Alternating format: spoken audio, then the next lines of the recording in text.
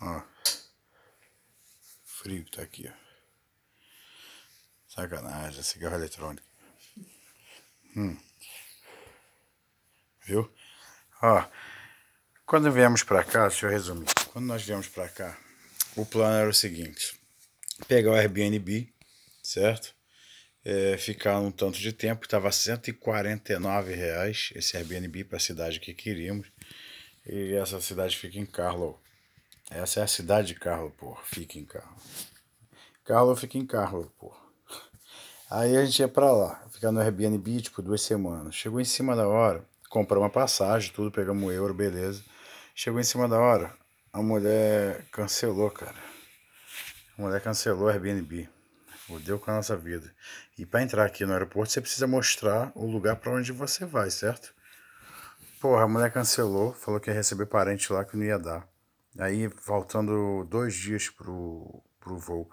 Aí eu fui lá, cara, entrei as pressas, comecei a procurar, procurar, procurar. Achei esse aqui, o mais barato era esse aqui, que era 200 e porrada ao dia.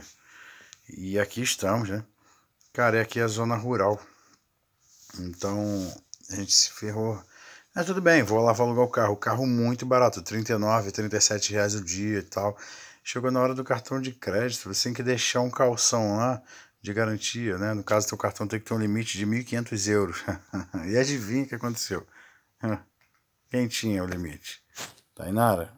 Não. Alana? Verônica? Nem eu. A gente ficou sem carro. Aí eu tive que botar no Facebook alguém para um tal do transfer, né? Que eu já sabia que tinha esse serviço de brasileiro para trazer aqui. Beleza, arrumei um cara, trouxe as malas todas. Ficamos aqui. A gente, então, então a gente está aqui até agora, num lugar onde não pode andar para lá, nem andar para cá. Tô falando sério, se você andar para lá é proibido, é proibido andar mesmo. Tem que ter aquela jaqueta com olho de gato, né? Com aqueles, lumino, é, aqueles luminosos assim. Tem que ter essa jaqueta numa parte da estrada. Na outra, é, tem que ser só de carro mesmo. Não pode bicicleta, não pode nada, cara. É só mato e carro passando voado de um lado do outro. É muito perigoso mesmo. Entendeu? A gente foi até procurar um, um no posto de gasolina, né? Coisas para comida da Alana é, papinha e tal, não tinha. Nesse posto não tinha. Então dessa vez a gente saiu para ir no mercado. Pegamos o lugar errado. Sem querer, a gente foi pro lado contrário, porque não tem na internet, né? Só tem internet aqui dentro do quarto. Aí botamos GPS, só foi pro lugar errado. Acabou que saindo do posto de gasolina, Green Apple, chegar lá conversando com o cara. Conversando não, tentando conversar com o cara. Tá? Um moleque super gente fina. O Eric, ele parece o Eric da Caverna do Dragão, moleque maneiro. Tranquilo, é maneiro. Como é que eu sei que ele é maneiro? Isso ele mandou tomar, isso ele me xingou. Ele é maneiro, é, tá, ele é maneiro. Ele ri muito, cara, então ele é maneiro. É, só não sei que ele me mande pra puta que pariu rindo, né? Então. aí, tá, ele, aí ele. Moleque foi lá, conversou, conversou, conversou. Tinha uma taxista no posto. Eu só falar isso, que é perigoso, é very dangerous, os caralho, tá, não pode. Eu achei que era treta, né? Querendo ganhar dinheiro. Aí eu fui com a mulher, afinal das contas eu fui com a mulher. A mulher mostrou. Aqui, o cara realmente. Aí, vamos, tô falando sério. Se eu fosse andando, tentando, eu ia tomar uma porrada de um carro ali, mano. Cara, não tem passagem, não tem. É matagal, altão e pista raspando. Entendeu? Não, não tinha condições. Então, é, aí foi isso. Aí eu, eu paguei 15 prata para chegar no mercadinho aqui pertinho, cara. E 20 prata voltando. Só para comprar as compras que deu 30. Gastamos 35 com umas compras que deu 30, por causa da bebê, né? Pô, não posso, não posso vacilar. Aí fomos lá, mas aí ficamos presos aqui até agora e parece que né, a gente está fechando com, com um amigo aí, com um amigo que a gente conheceu. É maneiro pra caramba, gente fina. Por enquanto, tá maneiro. o João, gente maneira, cara, gente boa. Ele conversou com a esposa e tal. Talvez a gente fique no quarto dele lá na acomodação. E ele quer que a gente vá pra lá sexta, era domingo, ele quer que vá pra lá sexta, pra gente ficar lá dois meses e pouco, tipo, até o dia da passagem de volta, que a gente tem a passagem de volta, lógico. Se nada, né, se a gente não gostar, não se adaptar, ou se eu não gostar que o dinheiro acabou, eu já sei que para onde que eu tenho que voltar, né? Lógico. Mas o dinheiro não vai acabar, mas ah, mas se eu também não estiver arrumando emprego, pô, for muito ceboso, muito problema, não vou ficar, né, cara? Não posso ficar num lugar onde eu não vivo feliz. Sério mesmo. Aí eu tenho que vazar, inclusive, antes do dinheiro acabar. Aí eu volto pro Brasil. eu não tenho mais nada, não tenho carro, não tenho mais nada, nós vendemos tudo, né? Quem conhece a minha história sabe. Vendemos tudo, tudo, tudo televisão, tudo, tudo, berço, tudo, tudo. Temos cinco, somos donos de cinco malas, né? E um punhado de dinheiro e aquele computador ali, maneirão. Só, só isso que nós temos. E estamos aqui. A gente, a gente é meio assim, pipa voada mesmo. É porque eu tenho que falar que a gente é maluco, mas, mas eu sei que isso é verdade. E, e, é, isso é coisa de maluco. Isso é coisa de gente normal mesmo, não. Eu, eu cheguei aqui, eu vi, cara, acho que eu tenho problemas, mas, cara, quando tu abre o olho aqui, e no último dia, quando você dorme lá, caralho, no último dia que tu, quando tu acorda, tu olha, eu abri o olho assim, tu fala assim, cara, tu sempre tu acredita que tu não vai viajar, né? Tu, ah, né? Eu abri o olho assim, deitado no chão, na casa da minha sogra. Aí eu abri o olho assim, cara, a mala em pé, assim, eu falei, caralho. Chegou o dia. É, hoje. É, hoje é verdade. Sabe, tipo, é verdade.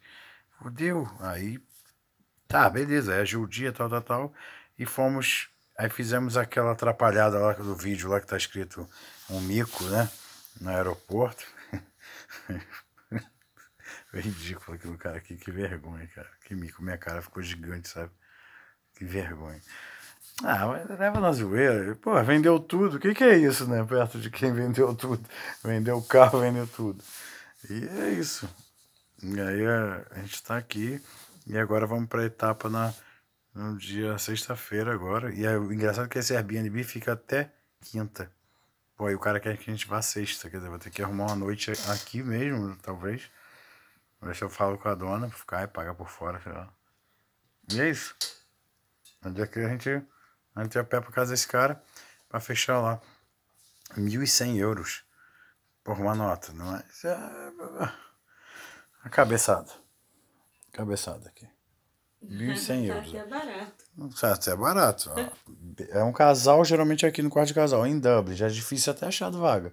Casal, nego cobra mil pratos, o casal, a gente até com neném e tal, 1.100 euros. Conseguimos, mas também porque a gente chegou na temporada boa, que é o frio. Ah, e próximo do centro. Tá né? começando a chegar o inverno, então muita gente mete o pé, vai embora e começa a liberar espaço. E a gente vai para lá e eu vou ver se eu tiro os documentos necessários para poder conseguir o, trabalho, essas coisas aí. Ali o banho daqui é muito bom, cara, muito bom, quentinha, água, porra. Show de bola. Aquecimento aqui é por óleo, né? Tem uns boilers gigantes de óleo. Eu já vi isso em outros vídeos aí. E é isso.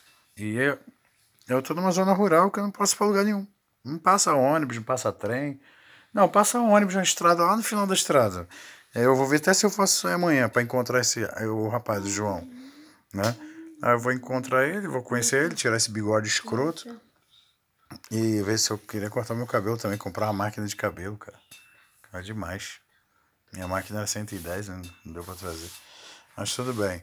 E aí eu vou ver se eu pego esse ônibus pra Dublin a primeira vez, cara. Eu não tenho nem. Eu não tenho chip de internet, cara. Eu não tenho número, não tenho chave de casa, não tenho chave de carro, não tenho nada. Entendeu? Essa é a nossa história aí. E daqui entregar a chave, pô, essa dona daqui ela não é de rir, não, não fala, não é, tem simpatia nenhuma. Recebe o bem, a casa é muito boa, não posso mentir, mas ela não tem aquela coisa de. No aeroporto foi maravilhoso. Falando sério, aqui de Dublin. Cara, o aeroporto, as pessoas muito sorridentes, os irlandeses de lá, né? Cara, sorridente, o cara pegou a minha mão assim, ficaram, ficaram me zoando. Como é que eu pego, chego no terminal 2 para encontrar o transfer, o cara que trouxe as malas? Dei 45 pratas pra esse cara, né? Pra ele trazer as malas.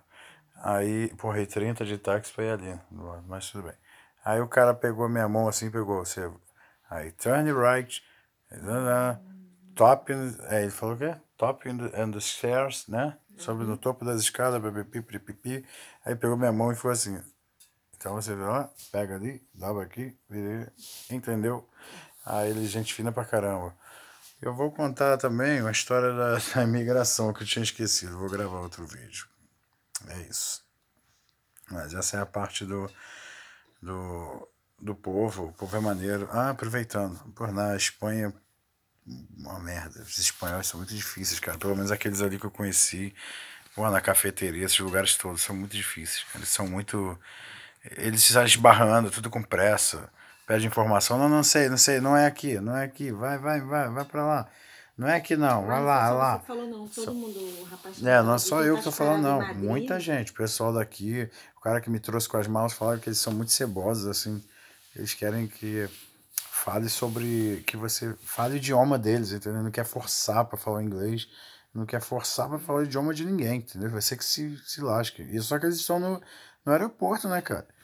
Aí eles querem que você. que você fale o idioma deles e tal. E é difícil, o espanhol aparentemente é fácil, mas eles falam muito rápido. Entendeu? É pra- Tu não pega. O inglês já. Sabe, dá pra sacar mais, assim. assim. Então, eu tô falando sério, eu acho o espanhol muito complicado. Mas eu vou fazer um vídeo aqui sobre a imigração. Esse foi engraçado. e me deu medo também. Vou fazer. Valeu, até mais que o vídeo ficou grandão.